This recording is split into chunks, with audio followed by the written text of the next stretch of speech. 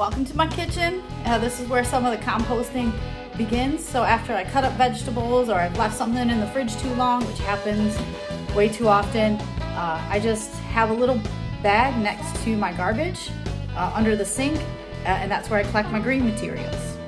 All right, so here's not the most appealing place in my house. Peeling, there's peels in here.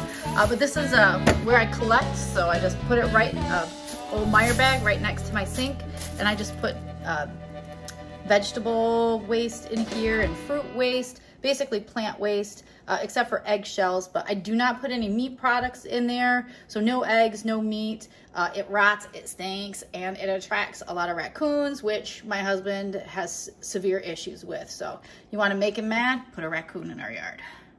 So here's the downside about my bin is that it's all the way in the back.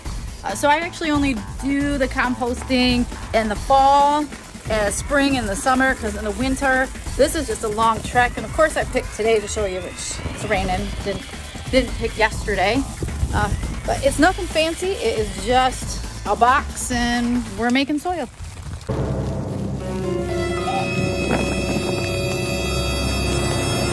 And here it is. And it's basically just a box made with uh, skids. So we didn't have to pay anything for those I found some extra fencing. Uh, this is to keep the animals out. All right, and you can see the lovely uh, compost we got going on down there. All right, so I just put the lid up.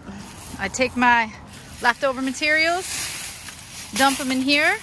I put uh, leaves and paper, and you can see the brown milk cartons and my dirt from old plants, and then I just stir it around uh, with a shovel every couple days. Not days, I wish, that would be nice. So every week or so, um, and then I use this to put back into my potted plants and in the garden. All right. Trying to reduce my food waste.